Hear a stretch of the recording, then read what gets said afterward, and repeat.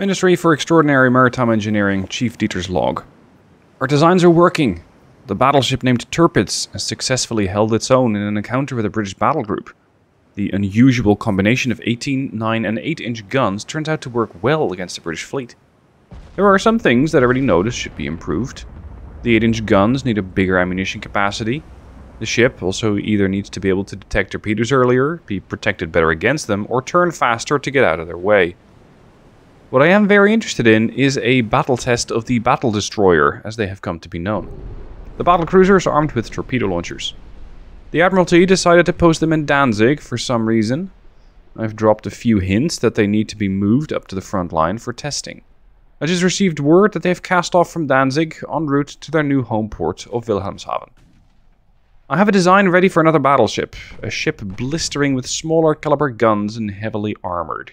Sadly, the Admiral has vetoed this idea. A ship like that would need to get closer to the British fleets to be effective. The British cruisers are armed with a lot of torpedo launchers, which would make this ship entirely unfeasible. The Admiral requested that we come up with a more agile design capable of hunting down their torpedo cruisers. This has proven to be more difficult than I thought.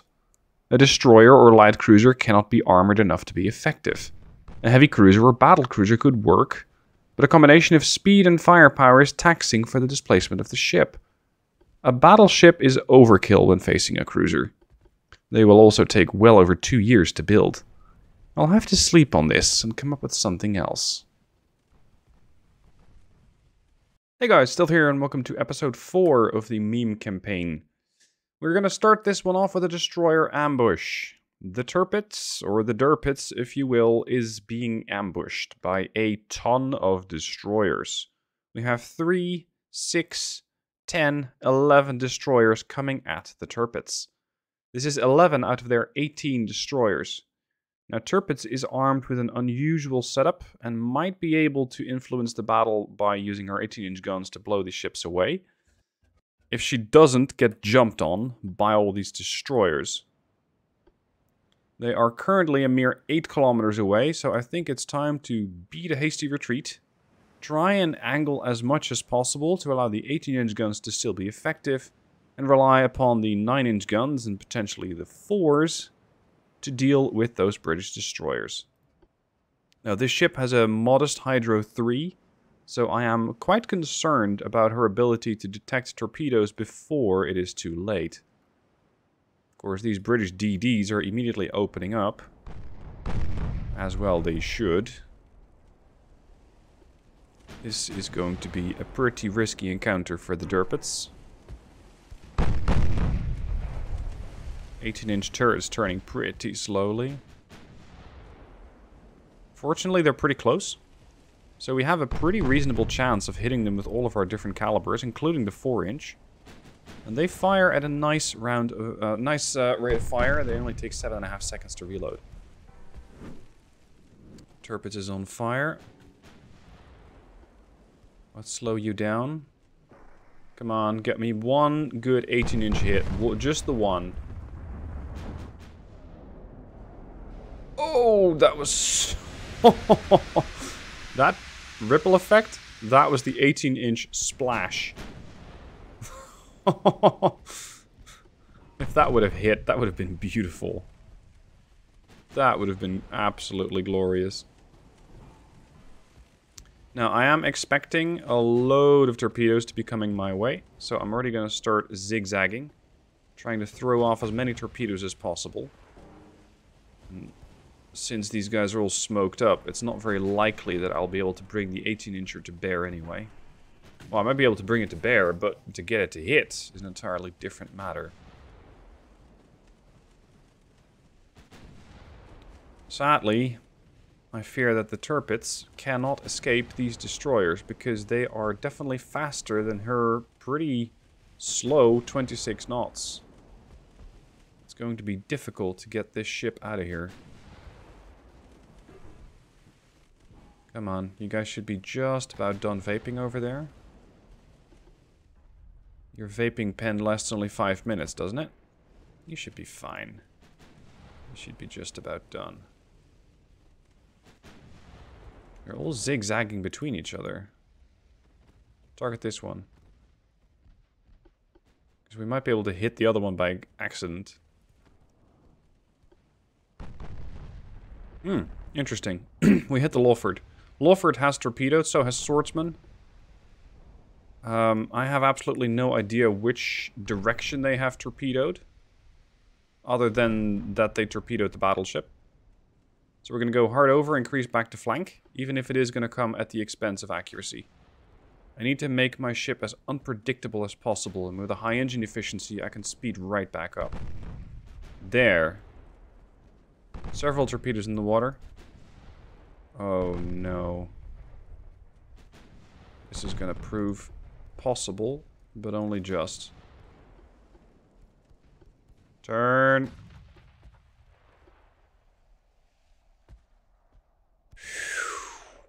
Um, I fear we are going to get hit by this one. Come on, speed up. I need to buy myself a few seconds to get the Tirpitz to change direction. Because then I might be able to maneuver her stern out of the way of that torpedo. It's going to be extremely close. Yeah, we did it. The Tirpitz is out of line of fire. What? the torpedo didn't connect with the Tirpitz, but some torpedo did connect with the destroyer. Are the British up to their old tricks? Yes, they are. the Lawford. The Lawford got hit by one of their own torpedoes. Task failed successfully. The Tirpitz has detected more torpedoes coming for her. So we're going to swing right back to starboard. Here is another wave. Come on. Please don't be here. Don't be a massive swarm here. That would be very, very uh, difficult. Yeah, no, no, no, no, no, no. Shit. um... Yeah, I will get hit by that one. I don't really see a way out. Unless I floor it. Now, hard over. Hit. Shit. Right on the stern. Stern took some damage, but no flooding. That's critical. So, without the flooding, the rudder's operational. That is extremely important. Let's slow you down. Make you a bit more maneuverable and just provide a more, well, ideally, a more stable firing platform to deal with all of these destroyers. And allow your 9-inch guns to do some work. Continue zigzagging. Secondaries on the Toreador, which is not entirely British, I'd say. 18 inchers out. Oh, shit. Steady as she goes. I get very little warning on these torps. Target everything on the Toreador. Lawford is crippled. These guys can still launch another salvo of torpedoes. Well, maybe not the Toreador, after she got her torpedo launchers destroyed. Or at least one of them. Yeah, no, that should be the only launcher that they have. There you go. That's one down. Did you get hit by an 18? Yeah, you did. Sorry, I missed that. That was well over 2,500 damage. Uh, next is the Shikari. What are these British names? They don't sound particularly British. Come on. Get the 18 inch. Oh, missed it. But she's flooding. We're going to cripple her enough for the 18s to finish her off with the next salvo. With a 0.7% accuracy. Yeah, this should be fine. Oh, but it worked. Shikari is down. That was another well over 2500 point damage. Um, that's not really a priority to take out the swordsman, but she's almost down as is, so let's continue harassing her.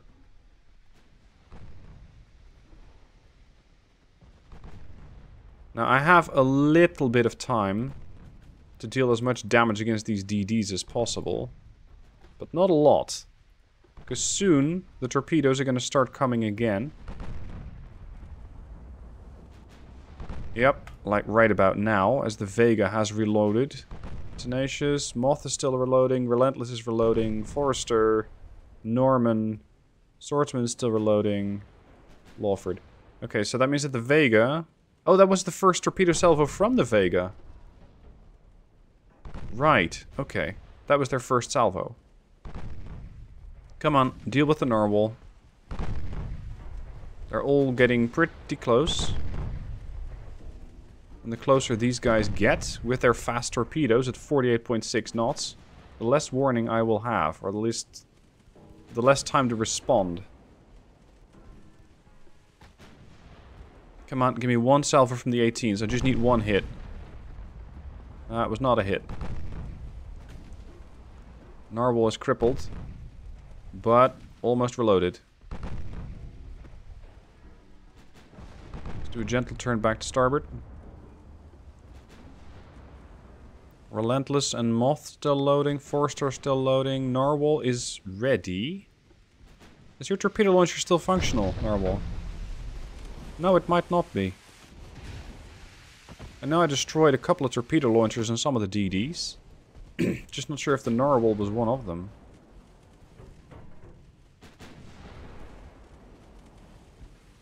Switch fire. Target relentless. When I came up with this design, I'm sorry, when the meme bureau came up with this design, I thought it was really weird, but these wing turrets, these 9 inchers, as well as the 8 incher, they're actually proving pretty useful. Much to my surprise. it's a weird design, but it kind of makes this battleship a jack of all trades. Because it can deal with destroyers, and it can deal with a battleship, and it can deal with heavy cruisers. It can't do either of those particularly well. I mean, it might win a gunfight against a battleship, but not quickly. But it's just survivable enough. And it has firepower to deal with all threats. That I'm willing to put this thing against whatever the British throw my way. Relentless is flooding and not launching her torpedoes yet. She's not in a good angle. Okay, we're going to do a bit more of a starboard turn to allow the 18 inch to fire. Missed. Okay, back to port. Relentless is still not launching. Interesting. Boom! Headshot. And that, boys and girls, is an 18 inch no scope. Up. That's one down. Who would like to go next? Moth? Oh. You took an 18 inch shell. And you get an 18 inch shell.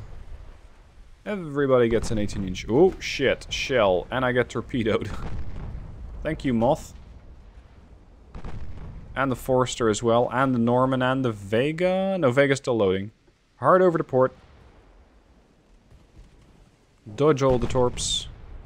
And at this point, I think the Vega is the only ship which is still armed with torpedoes.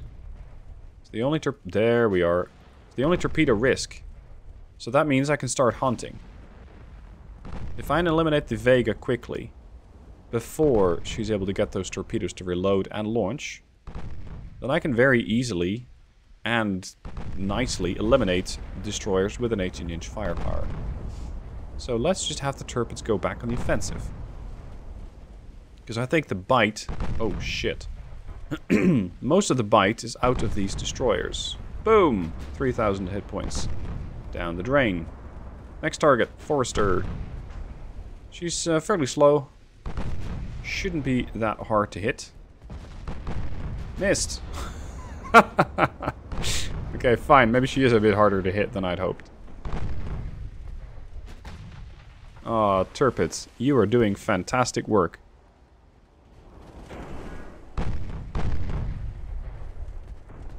You are doing fantastic work, sir. Boom! That ought to eliminate the Forester. So we're going to switch fire to the Moth and the Norman. They are extremely close. 2.3 clicks out. That means that they're just getting very close to the danger... There you go.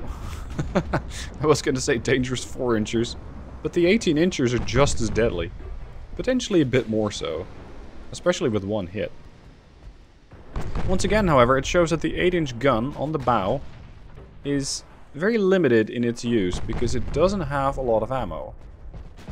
Dead. oh, this is just evil. Forester. Good night, Forester. Okay. Who else would like a shot? The narwhal. Is that your last? Because the AI is begging for me to quit. Yeah, I don't think so, Sunshine. You're not going anywhere quickly, are you? Little under 10 knots. Tirpitz, have fun. Oh, there's something else out here. Did I leave one alive before? I probably did. The British, by the way, and I couldn't quite capture this in video, the British have already launched a complaint after their uh, Admiralty has spent a ton of money. So the British seem to already have some economic concerns about how their navy is run. This potentially opens up the way to cleaning out the British Navy quickly. It does remain to be seen how much of an impact it's going to have on their fleet. But taking out a whole bunch of destroyers is probably actually doing them a favor. Because it's going to cost them a whole lot less maintenance per month. So, Royal Navy, um, you're welcome. You're welcome. Come on, can we get one more good headshot? No. Close to the narwhal. Not deadly. That's the last few salvos from our 8-inch gun.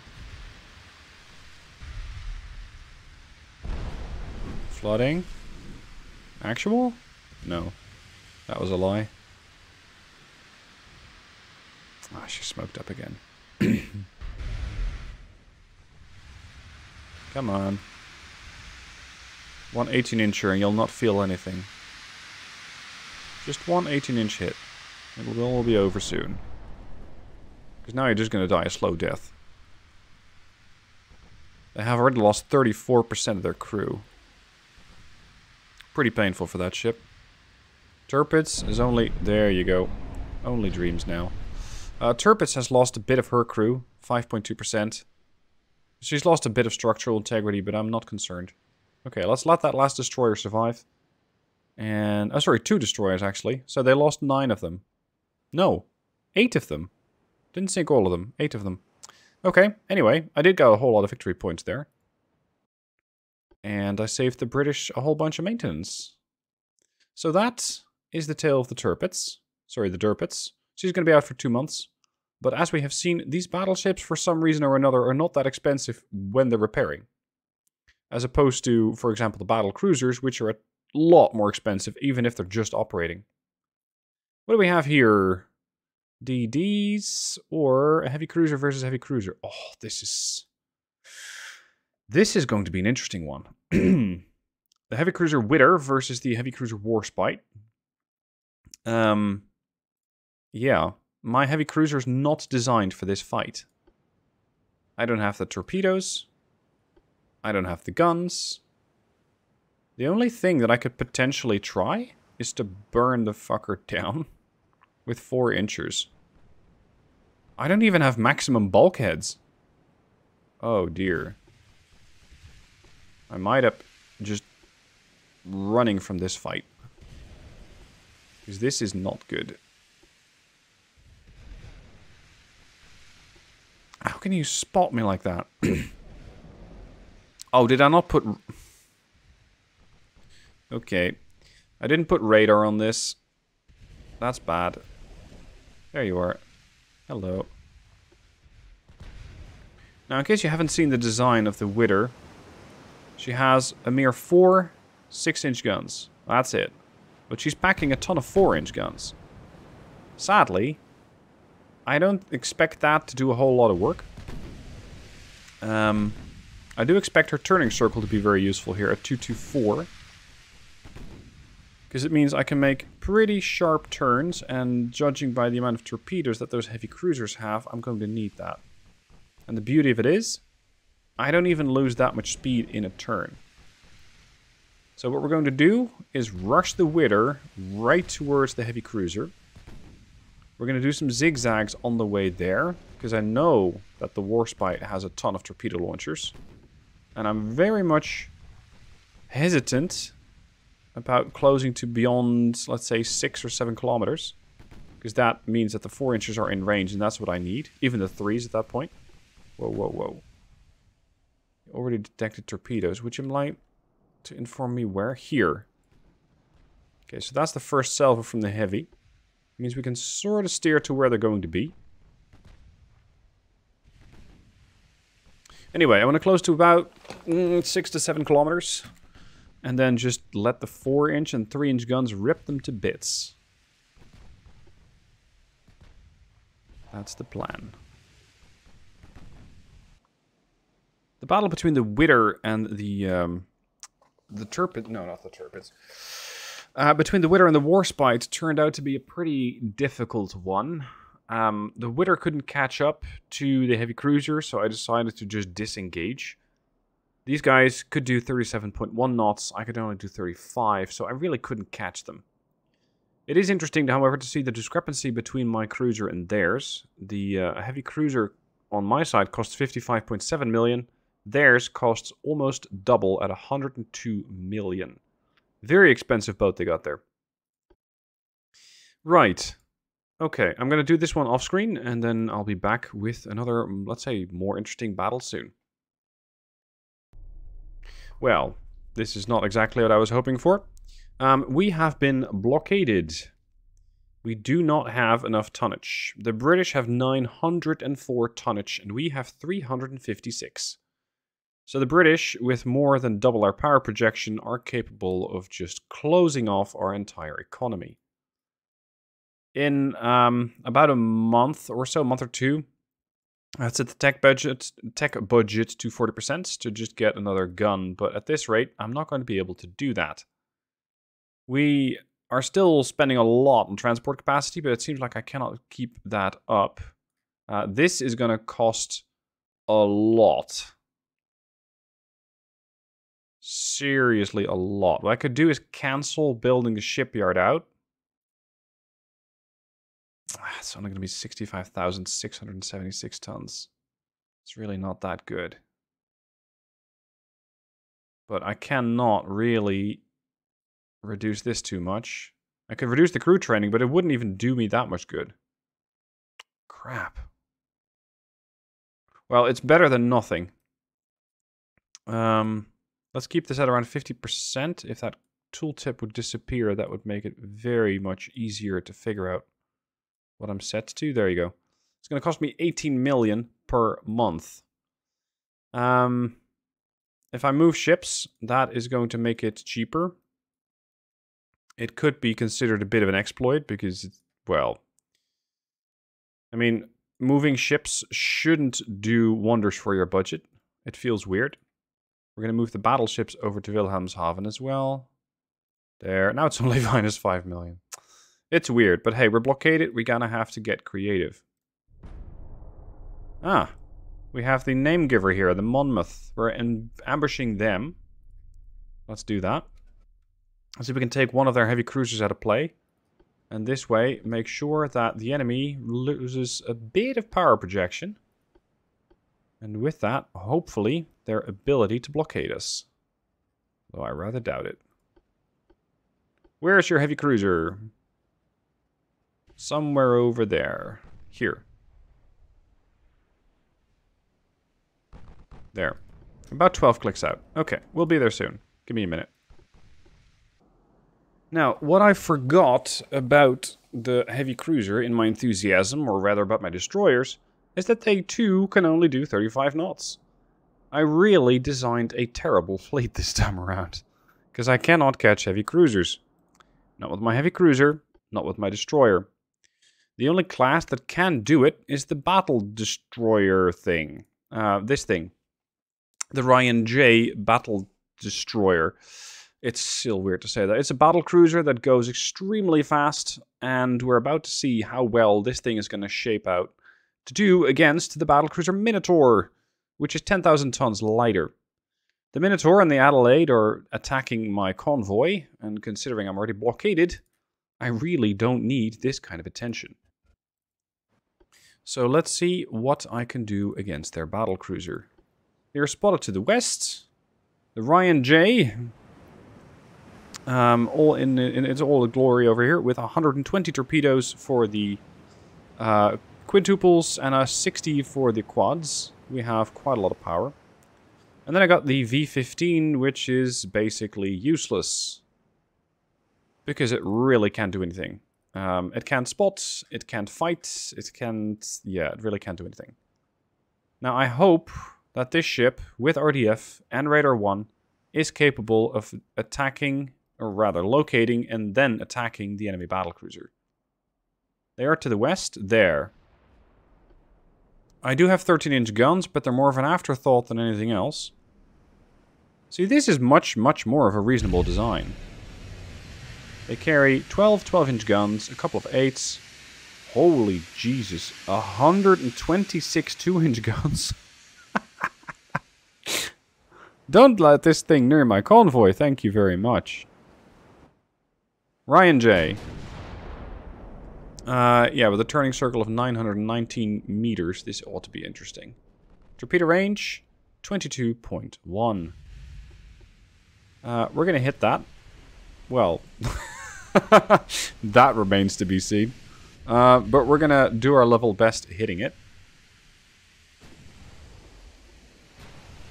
And here come the fishies. At this angle and with this level of range... Oh god, you're already turning? No, you're not. With this level of range, um, this should still be a pretty decent fanfire. That's what I'm hoping for anyway. Now, the thing about this battlecruiser of mine is that it is really not designed to get into range. It is not there to close the distance quickly. It is there to drop torps and run the fuck away. That's what this ship does best. Let's see. Nah. Unless she turns back to starboard. All of this looks intimidating. But is really not going to hurt them. What I could try doing is just waiting for an ID. Then figuring out how dangerous that ship actually is. Then waiting for the reload on the torps. And finally just close the distance and launch somewhere between 20 and 30 torpedoes right in their face. Battlecruiser detected the torps at a range of 1.2 kilometers. And it is... Whoa, whoa, whoa. Hold on. I detected torps as well. Holy... Fucking hell. Okay. Um, that's not good for my top speed. I have maxi bulkhead, so I should be able to clean that flooding right out. But until then, I'm probably going to be going back to full speed. Okay, tell me everything you need, or I need to know about this heavy, or about this battle cruiser theirs. What can it do? What's the threat? Ah, there's your light cruiser. There's the dick that threw torpedoes at me. Target that. Okay. 100% ID. Show me. Well, go on then. There. Speed, 31.9 knots. Let's round it up to 32. She's crewed by cadets. Interesting. Minotaur has a pretty decent turning circle of 629, but a sonar 3 is going to make it very, very difficult to sneak up on her with torpedoes. She has anti-torp... oh no. It's like this thing is the perfect counterpart. It has anti-torp 5. It's extremely capable of fighting off torpedoes. Oh no. What sort of engines did I put on this? Turbo electric drive. Okay, good. That'll at least allow this ship to turn and speed up and slow down faster. okay. Hold off on the torpedoes. We're gonna probably have to deliver these to the Minotaur pretty close, otherwise we won't hit. It's also gonna cost me a fort... Fuck off! It's also gonna cost me a fortune to get this ship fixed. Even if it's only a couple of percentages, it's still gonna cost a lot. Because these battle cruisers are coming in at 264 million, as opposed to their, I suspect, 140, 150? 108? Okay.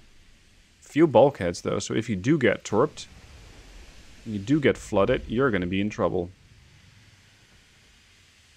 Even with her 12-inch guns, she's not that dangerous to my battle cruiser. Yet.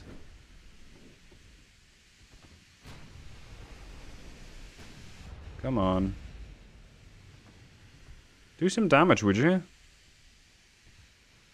Because that light cruiser is pretty dangerous. I should do a full turn. I'm not interested in being hit by those 12 inchers. Not very much, thank you. Alright, you. Adelaide. Stop throwing torpedoes at me. We're turning so much that the 13 inchers have trouble keeping up. Yeah, we can pretty reliably pen that. To Adelaide, sonar array, sonar 3. Oh, great. You're just in a, a big floating sonar array. With torpedoes at that. So that means that my electric torps, or sorry, my oxygen fuel torps simply won't hit you.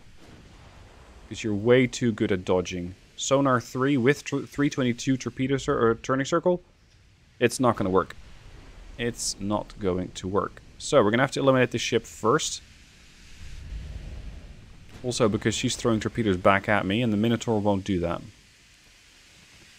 There is one potential flaw with the Minotaur.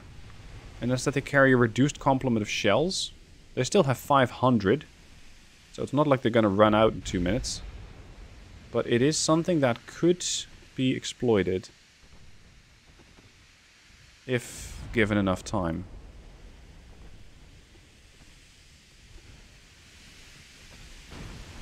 Come on. Give me a good hit on the Adelaide, please. Just some nice high explosive damage to blow away either the ship or a torpedo launcher or two. There you go. Good man. Flooding. Could kill the ship. Come on. This thing is about... There you go. Okay, we're going to slow this thing down. And it should be pretty capable of slowing down quickly because it has a turbo-electric drive. Which gives you, I think, a 75% bonus to decel. Oh, come on. Don't be like that. Yeah, right. The deceleration is not doing that well. Uh-oh. Okay, we're fine. Torpedo launchers on my battlecruiser are ready.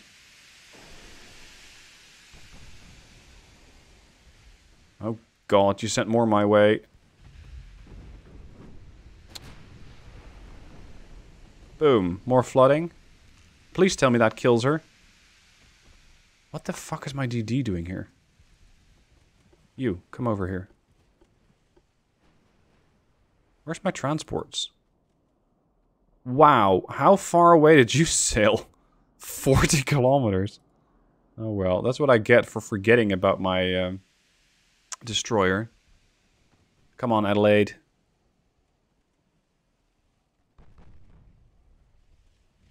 Increase back to full speed. We're going to turn right into the battle cruiser and we're going to dump the torpedoes pretty much on top of them. That's the plan. Ow. Kill the Adelaide, for crying out loud. No, you missed. Minotaur, five clicks out. Four nine, four eight, four seven, four six. We're flooding again. There, flooding on the Adelaide. She's dead. Hello, Minotaur. Boy, are you in trouble. Well, I say that.